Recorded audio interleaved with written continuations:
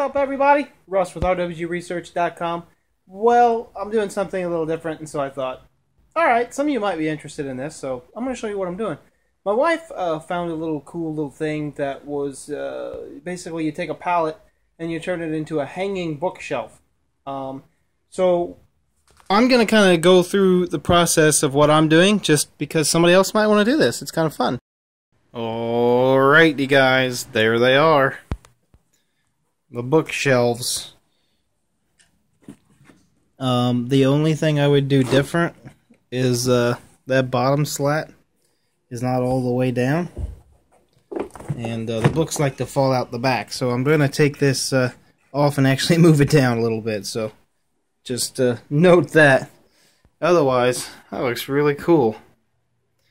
So that is officially the video of um, the bookshelves made out of pallets, recycled material. FYI, this video is completely backwards, so yeah, keep watching. I think you'll like it. Let's go! Lily, you're making an awful lot of racket. Hi! Hi! Okay, Riley, get some books! Got our bookshelves done! Da da da da! Yeah, like that. Like that. Yes. Can you get some more? Yeah, yeah, yeah, yeah, yeah, yeah, yeah, yeah, yeah. I don't know. Go find them. There they are. Bookshelves hung. Just found some studs. Pre-drilled my hose. One screw there. One screw there. Same thing on that one. Although I think I missed the stud on one. We'll see how long it lasts. no, I think it's okay. Yeah, fill it up. How about like these big That looks upside down, but okay. How about these big ones go here and the big ones? Okay. That's what you wanna do. Thanks, you guys, the boot. And that's what we'll try. Uh, big Those look pretty good. Can you reach that one, Dex? It's the high side, huh? I just decided not to have any clothes on this video. Okay, what do you think? Love it. Did it okay? Alright, good. It's not so bad. Okie dokie. That's how you make a book palette shelf book. Hi, Lily girl. Da, da, da, da, da, da, da, da. Oh, Lily, you're a riot. You're a riot.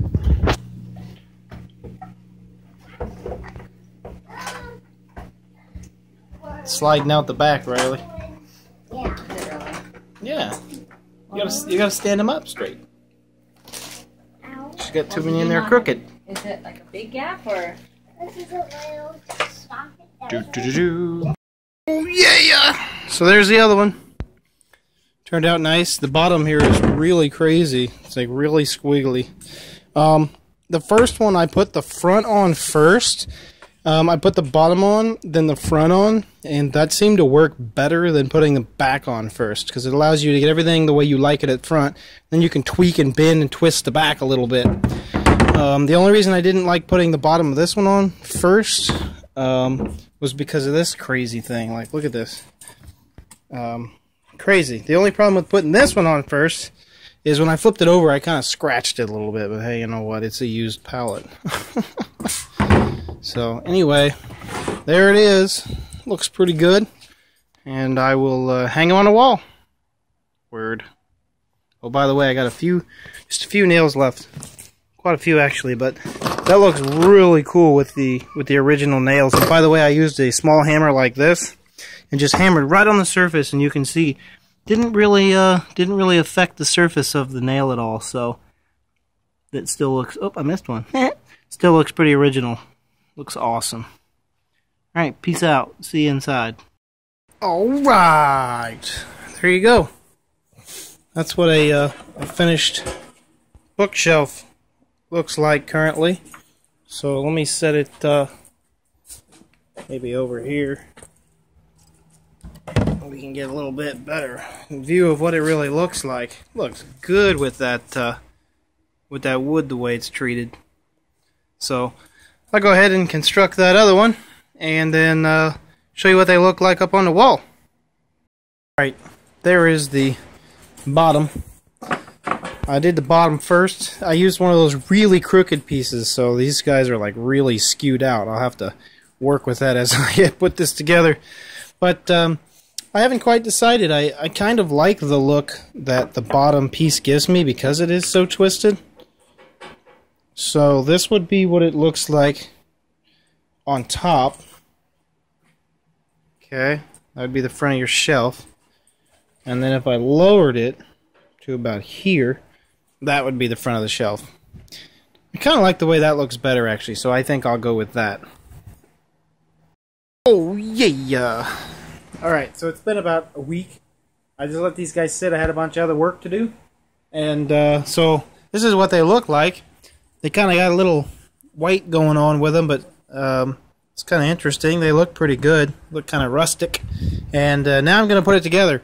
So I'm going to get that set up, and I'll show you what I'm going to do. I'm, I'm going to put the bottom pieces here, and then put new um, holes in here so that instead of being flush like they used to be, it's actually going to be over and past the bottom section of piece of wood I'm going to put on the bottom. I don't like the way it looks, so I want it to kind of be open like this. I think it'll look better. I am going to pre-drill the holes with this drill bit because um, I'm afraid that this hard wood might split, and I don't want it to split. So I'm going to pre-drill the holes, and uh, I think it'll look better. So let's put one together and see what it looks like. Okie dokie, pokey, smoky, jokey, wokey.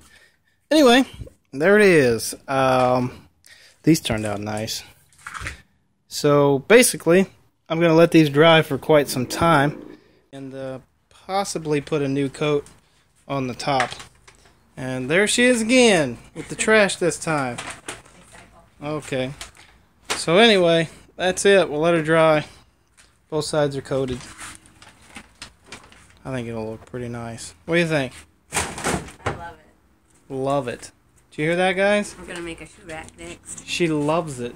We, she said, we are going to make a shoe rack. That means I'm going to be slaving her into this one. Hey, I offered to do this. You didn't want to watch the kids. All right, well, application. Here's what I'm doing. This is the teak oil. I'm just using a, a brush, putting it on quite heavy. I plan on just doing one coat. supposed to put it on and let it soak in for at least a half an hour. But this stuff, uh, the first pieces I've done, you can see soaked it up quite nice. This piece looks like a really, really hard piece, so it's not quite soaking in as fast. But, um, that's it. Slapping it on. I'll flip these on the side and do the sides, and, uh, yep. Just thought I'd show you a quick, quick piece. Kind of going back afterwards and making sure it's all nice, but, uh, supposedly it'll just soak into the wood. You, you.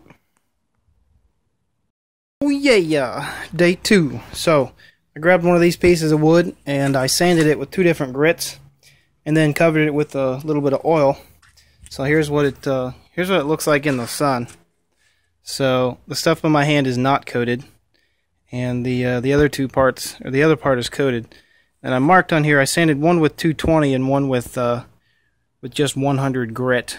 Um, so this is 100 grit. That's 220, more of a finish, fine finish. Um, here it is kind of in the dark. You can see it compared to like cardboard color. So it turned out good. I'm actually using this uh, this teak teak oil. I, I didn't really want to like put a clear coat on this thing. I just wanted to make the natural wood color shine. So I heard of this stuff a while back. Somebody mentioned it to use it on my clock, and uh, so I just used it on this. So what I did is I grabbed these are the pieces I have left. I only have four straights left, and they're either cracked, broken, or some other problem with them. Here are the pieces that I finished sanding, and I cut these guys. So in case you're curious, here's kind of a before and after. Let's get that out of the sun. Here's a before and after um, the sanding. So you can see the, uh, the difference. And uh, if you look at this stuff in the sun, see if we can see it. See all the really bad splinters and stuff on there? That's the stuff I wanted to sand off. Right there you can see pretty pretty bad that is. Where this finished piece doesn't have those. And uh, I just did that because I'm going to have my kids around these things. I wiped the sawdust off of it. The kids around these things, and I didn't want that to be a problem. So here is all the pieces. Um, I cut these at an angle because I kind of just like that better. Now, I should have made these, I should have cut them a little taller, but I cut one and that was it. I couldn't really do much after that. Um, now, the lettering that was on here would have liked that to stay, but I barely sanded it and it just come off because it's just paint. So I could have got around that by lightly sanding it and just leaving it slightly rough. But that's okay. So these are my front two pieces. Uh, these are my back pieces. These two pieces here, that one and that one's going to go on kind of the top where you can see them more. Um, the front pieces are going to have to be on here like normal, where the nails go in the front because of the, uh, well, I guess I could flip it over, but you got like the cross piece here, and I don't like that look. Um, so, uh, yeah, these are the bottom pieces. These are kind of some squirrely ones, but uh, they're going to be on the bottom. And what I'm going to actually do, well, I'll set it up and show you. I'm going to blow these off with some air and make sure they're clear, clean of dust, and then I'll uh, I'll show you how I'm going to set this up, and then we'll take some oil and brush some oil on it and see what it looks like.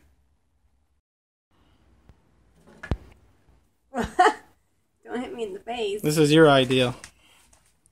No, it's Pinterest's idea. Well, I can't. it's your idea. It's actually probably not theirs either. Because I. 'cause I looked online and there's thousands of pallet shelves. I ended up taking all the nails out, in case you didn't know, and friggin' pile of nails. Got these things all separated, and the first step is to clean your hands. It looks like, and um, um, yeah. Oh, what's this, by the way? Uh, baby number five. How many? Five. Oh, jeez. So anyway, um, first step is to take one of these and sand it, and see what it looks like. And um, then um, I'll put some stain on it and see what it looks like, and then uh, pick my wood out. This will be a lot easier to sand this pallet this way, but I did break some of them getting them apart, so it's kind of a problem.